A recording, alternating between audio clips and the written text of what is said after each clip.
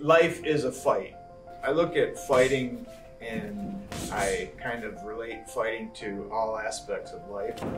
I look at it as no matter who we are, where we're at in our journey in martial arts, um, we're all facing a challenge or, like I say, a fight. So you have to look at all those challenges as a fight or an opponent that you're training for. And each time you reach a goal, that is a victory in your fight for life, kind of, so to speak. My name is Dean Lessei. I am the owner and chief instructor of Dubuque Martial Arts Group, founded in 1990 here in Dubuque, Iowa. I wouldn't say I really had a career in, in uh, fighting.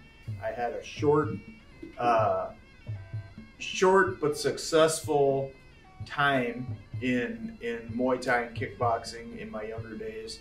I've had fights in the ring, kickboxing and Muay Thai. I was a three three-time Thai boxing commission heavyweight champion. These memories come from my last quote-unquote uh, Muay Thai fight. I had told the promoter I was going to be coming in heavy for that fight so he could find me a bigger opponent. The fight before I had fought at 182 pounds. I was going to be about 190 pounds. So I get to the weigh-in, the venue, and I'm, I get weighed in and everything, and I see the promoter, and I say, "Hey, Mr. Latuli, how's it going?" You know, and small talk and whatnot. And, but before I had got on in there, I had noticed this big monster of a guy walking around the, the, the venue, and he was uh, just a giant. Who's fighting that big dude over there? And he just kind of laughed at me. and He goes, "You," and I said, "What?" He goes, well, you said you were coming in heavy. This guy was about 6'5", 6'6", 245 pounds. Uh, his name was John Pruitt. I, I refer to him as Godzilla. We fought and uh, I ended up defeating him with, uh, stopping him with leg kicks. Yeah, I was known for uh, my, my kicks. Uh, my fight name was Lethal Legs. We were sparring and one of my friends, Tim Fernandez from the Akai Training Hall, he was getting ready for the fight and I broke his arm with a kick felt terrible. You know, it was two weeks out. It was the last hard day. I forget who it was, but just said, damn, man, your kicks are lethal. Lethal Legs Lessei was born at that, that moment.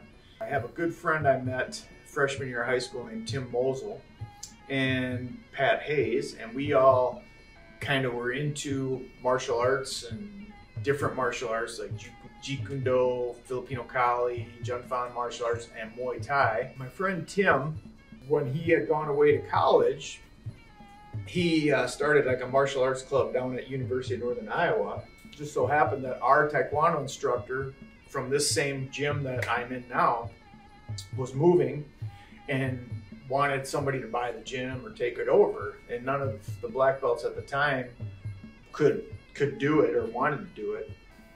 Um, so he found one of his brown belts that took it over. But that guy was only going to teach two nights a week, Tuesdays and Thursdays. So we're like thinking to ourselves, that place is empty three nights a week.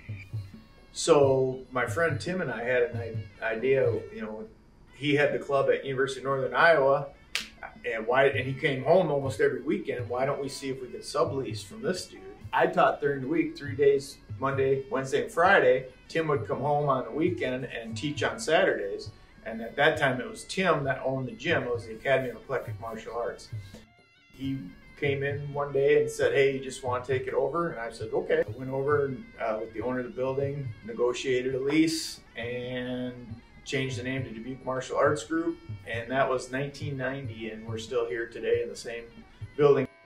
Our student base is a mix. I've got Class A fighters, a few Class B, which is kind of the intermediate level, Class C fighters, and then I got people that have no desire to fight, that just uh, use martial arts for other aspects and, and benefits of martial arts training. So you have very beginners all the way up to pro athletes. My son, uh, Luke, started martial arts uh, when he was like four and a half. And I used to have a rule, they had to be five years old before they could start my kids class. But his older sister, Savannah, uh, is a year and eight days older than him, and she was already doing kids class, and he would come and sit around and do stuff off to the side, throwing kicks and punches, and beg me to come and do the class. When he was about eight, uh, is when uh, he started learning to fight uh, kickboxing and Muay Thai, training with our competition team. So his first fight, I think he was uh, eight and a half. That was his first fight, and I've been training him, you know, pretty much his whole life. Uh, he's 26 now. What it means to me to pass the torch on to my son is that a lot of times we'll be thinking the same thing. So I, I like to think that he would uh, carry on the tradition um, and the system that I've developed over the. It's pride in our family name. So to carry that on getting a little older, I, I, I, I am going to keep kicking as long as I can, but, but it's good to know he's helped coach. It's been pretty cool watching, you know, him develop over the years. What Muay Thai means to me is a little different than what most people probably experience. I've been doing Muay Thai my entire life. It's kind of how I, I identify myself in basically all aspects of life. I see it through a lens of Muay Thai and fighting. I kind of relate everything to back to like a fighting mindset. For me, it's just so important because I'm able to just express myself like in the purest form because it's been, it's what I've been doing since I was four years old. It's literally just part of how I've developed and it's part of me and it's like it's literally just what I do. It's part of my existence. So I've been fighting since I was eight years old. I've managed to rack up over 60 fights, seven fights pro. I'm 26 and I've become recently a world champion at 155 pounds. Right now I'm ranked number one as a lightweight Muay Thai fighter. My professional record is 7 and 0 with five knockouts.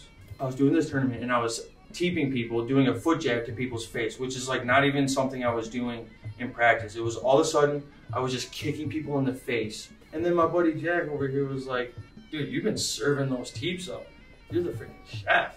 And then boom, all of a sudden I was named Luke the Chef Lessei.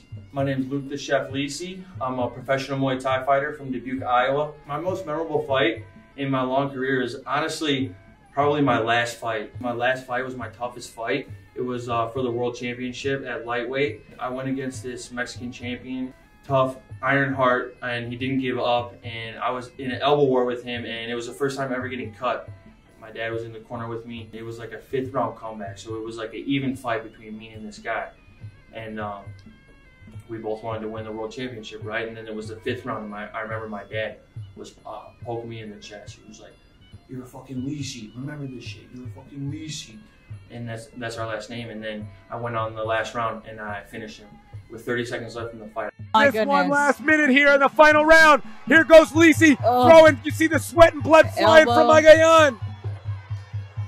Lessei's just, oh, he's just serving. Oh, oh, oh, oh, he's barely, he's out on his feet. That's the end of the fight, guys. I just want to do Muay Thai and share my knowledge and, um, you know, live the legacy that my dad has started and, you know, just teach people our ways here in Iowa. And I just want to keep doing Muay Thai as long as I can. I want to make some money doing it. I want to support my family. And I want to keep getting these highlights and knocking people out and becoming known as the best fighter. But the number one thing I want is I want people to be inspired by me.